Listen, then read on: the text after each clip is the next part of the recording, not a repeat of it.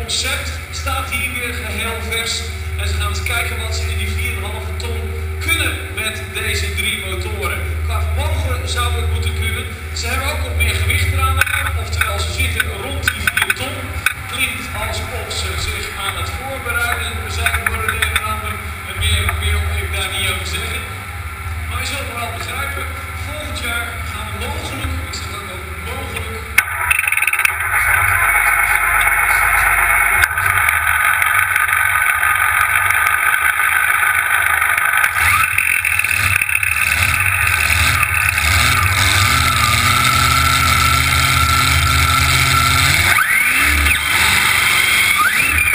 Thank you.